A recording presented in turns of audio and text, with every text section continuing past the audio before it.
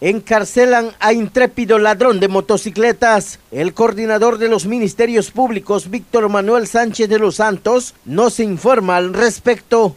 Sí, efectivamente, ayer este, elementos de la Policía Municipal nos ponen a disposición a Gibran Orlando Pechcan Cham por el robo de una motocicleta.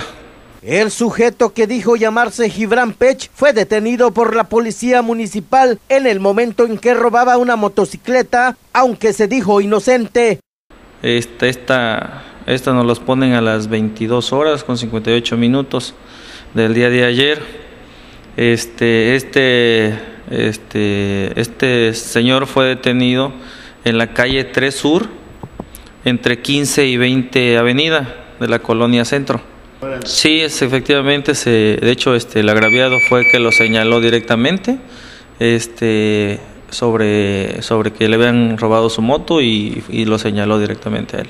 Sánchez de los Santos comentó que será en las siguientes horas cuando se determine la situación jurídica del detenido, pues hasta ahora existen elementos para consignarlo. Tenemos 48 horas para poder este, consignarlo a, al juzgado y este y para que ya este el juzgado ya este deslinde ya este su, su plena responsabilidad en el robo.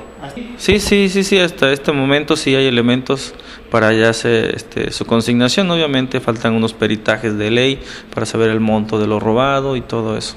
El coordinador de los ministerios públicos informó que habrá mayor coordinación entre la Procuraduría de Justicia y la Dirección de Seguridad Pública para atacar el problema de robo de motos y casas habitación. Sí, efectivamente, como, como en su momento también ya se, se dio este noticias de que efectivamente va a haber una mejor colaboración entre seguridad pública y, y este y procuraduría precisamente para atacar de fondo este este este delito.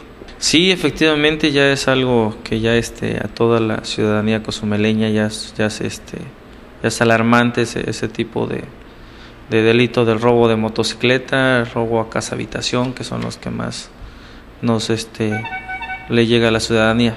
Para Reporteros Sin Fronteras, con imágenes de Benjamín Carrillo, informó Ponciano Paul.